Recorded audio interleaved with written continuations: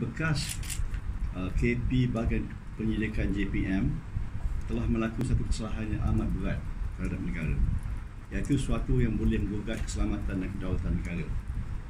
Dalam arti kata lain, perbuatan beliau ini boleh dianggap sebagai satu pengkhianatan, pengkhianatan kepada negara. Kami merasa hairan mengapa beliau yang diamankan dengan satu tanggungjawab yang berat iaitu bagi mengawasi keselamatan dan kepentingan negara sanggup menjemput satu kuasa luar mencampur, mencampuri urusan dalam negara iaitu pada PRU 14 lalu. Adakah bekas KP bahagian pendidikan itu sudah dapat menghidu bahawa kerajaan BN akan kalah pada PRU 14? Dan oleh itu meminta CIA cuba mengalihkan keputusan PRU berpihak pada BN.